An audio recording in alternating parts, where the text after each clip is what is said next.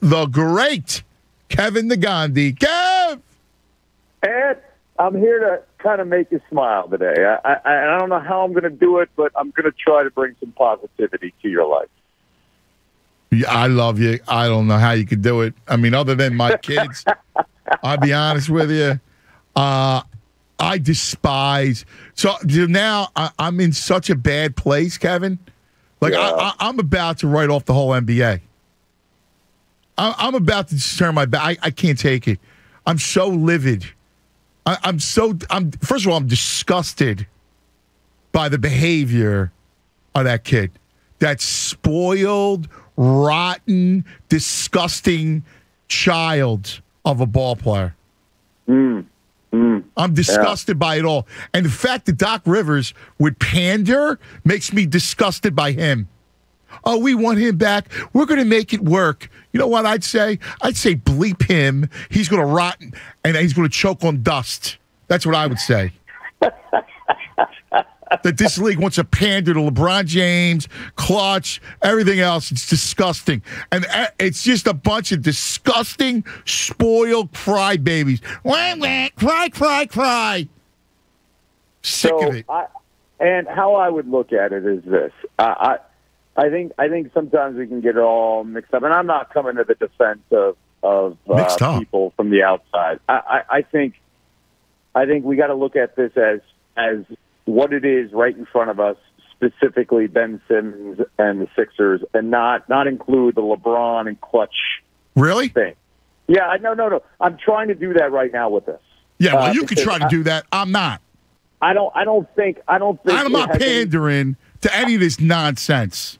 Uh, you know, you know, I went through all the emotions that you're you're feeling over the last. Holmes, uh, I'm not emotional, Holmes. I'm You're, not. you're not emotional. Not at all. You're not emotional. Nope. Uh, you're passionate. You're passionate. How about that? You're you're passionate about. Here's the deal. stance of what Here's the deal. I look at life, all right, th- through a simple prism of right and wrong. Okay? Yeah. I I just look at it through the simplicity of doing the right thing. Which, listen, there are times when we all are fallible and we're all misguided. We go down the wrong path. However, this path continues to go around the same, same, same, same path. And what's going on is really a disgusting display of excess. It's a disgusting display of society's ills.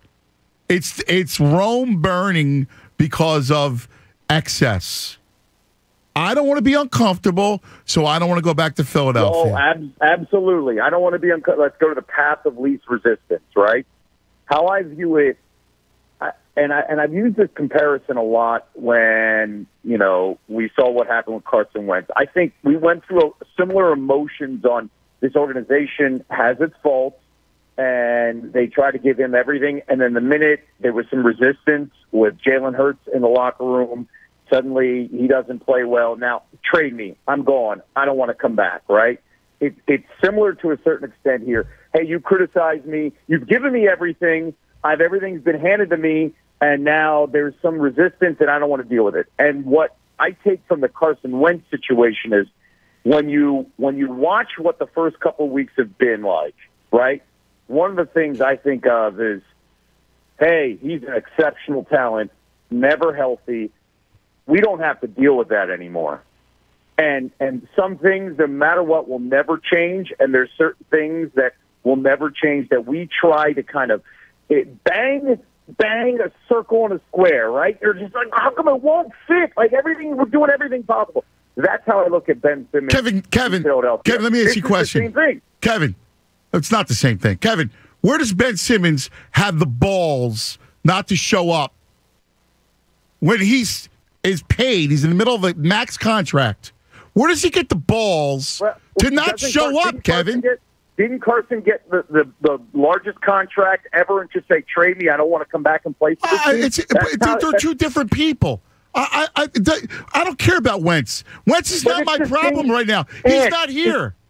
It's the same behavior, though. It's the same behavior back in January that you're feeling, where you're like, No, it's not the same. It's different. Supported you. It's different. Different. supported you.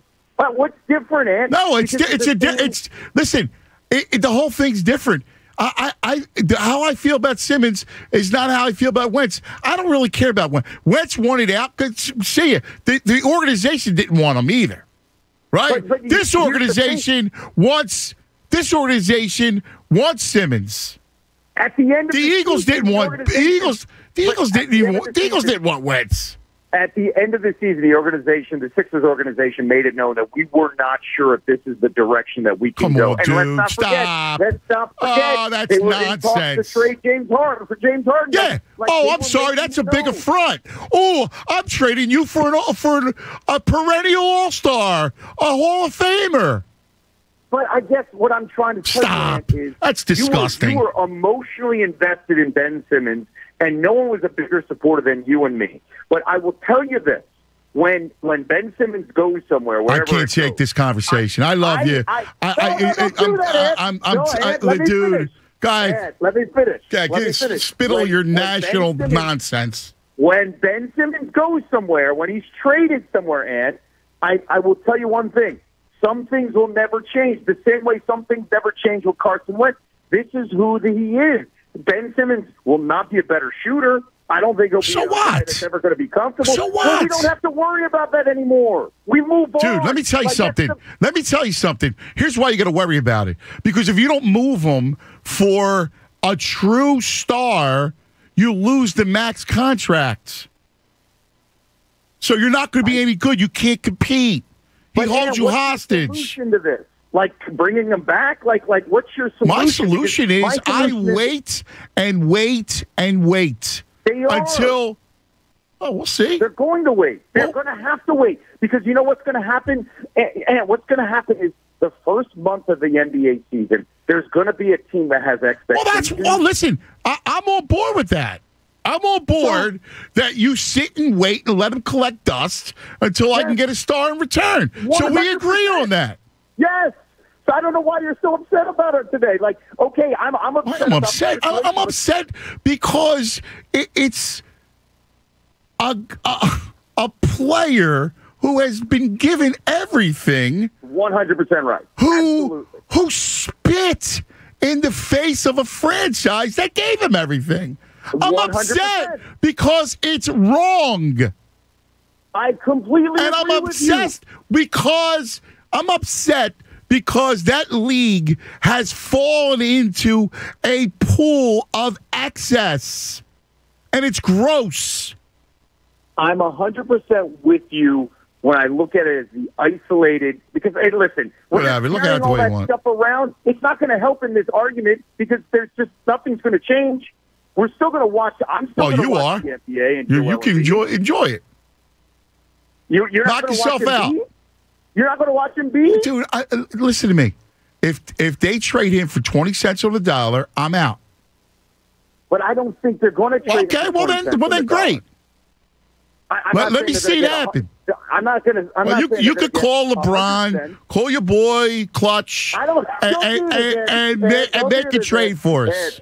Ed, don't do this. And shoot us, jump in because don't do this, Ed. Don't make this like it's me who's doing this. I'm trying to. I'm busting your reasonably look at stones. Relax. With the Uh, reasonable. No, but I, you know where you know where you piss me off is where you go emotional. Oh, you're emotional about this. You just No. said you're mad. You said you're angry. No, again, again, there's an affront here. There's an affront to right and wrong. And if you're not angry, then you're not for goodness. I am beyond angry, but I, I also. So don't talk me down by going, oh, you're a little emotional. I will shoot. I was I was furious. I've gone through it, but what? Stop with the Wentz gonna get any- conversations and this and that.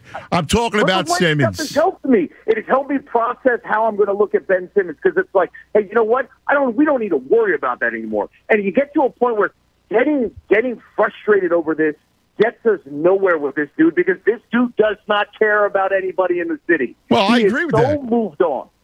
So Well, of course. why am I going to waste my time worrying about that guy? I'm not Let's worried just- about him. I'm worried about what he could possibly do to the franchise. So, listen to me. I'm happy if it plays out the way you think it'll play out. All right? I'm happy if that's the case and they go land Damian Lillard. Hey, I'm down. Well, Say- shoot, we saved I the we'll- franchise. We'll, throw a parade if they can land Damian Lillard. I'm not saying they're going to. I'm just saying that they're not going to trade him 20 cents on the dollar now. But in a, a, a month into the season, you come knocking. You get you collect assets to eventually get something. You need a third team involved. Okay, we got to see. But uh, here's the thing: we don't want him back. The city doesn't want him back. He doesn't want to come And, back. and you know what? You don't play think. I'm angry is here's Doc. Doc's on Stephen A. Doc goes, Oh, well, we want to make sure we rectify this. And like, I know he's got to say it. It's just disgusting.